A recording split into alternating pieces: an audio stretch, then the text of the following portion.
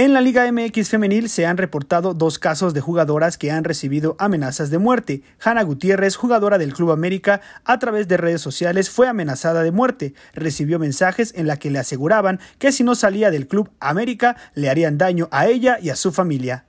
Inmediatamente el equipo azul crema brindó seguridad personal y comenzaron las investigaciones para buscar a los responsables.